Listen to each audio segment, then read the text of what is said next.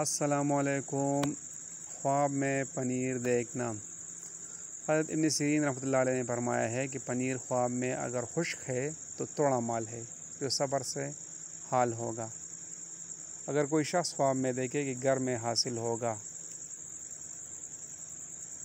हज़रत जाबिर मारी भी रहमत ने फरमाया है कि पनीर तर माल और नेमत है, जो आसानी से हासिल होगा। और खुश्क पनीर तोड़ा माल है जो सफ़र से हासिल होगा।